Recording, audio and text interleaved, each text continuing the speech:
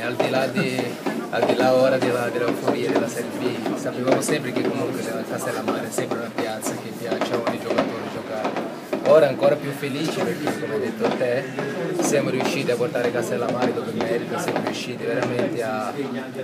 a, insieme ai tifosi tornare questa passione, questa, questa bella cosa che abbiamo visto in queste ultime partite sperando che, che, veramente il futuro ci, ci riguardi ancora tante belle cose perché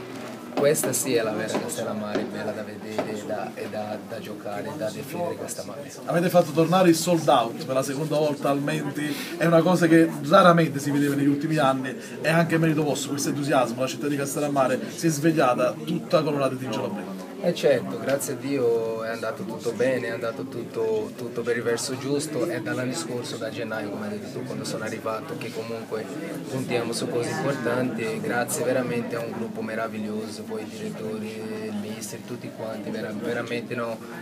non c'è nessuno che non, non vada bene,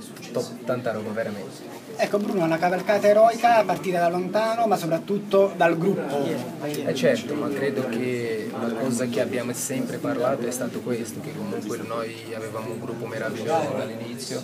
che ci rispettavamo a vicenda e robe così, quindi alla fine le... siamo riusciti a portare a casa credo quello che abbiamo meritato e lavorato per farlo. Ecco, è stato proprio lo spirito di gruppo nel momento più difficile dove pari con Riete e Bisceglie a permettervi in effetti lo scatto finale. Eh certo, quello, quello non solo in quelle partite, eh, è, stato, è stato la nostra forza tutto l'anno,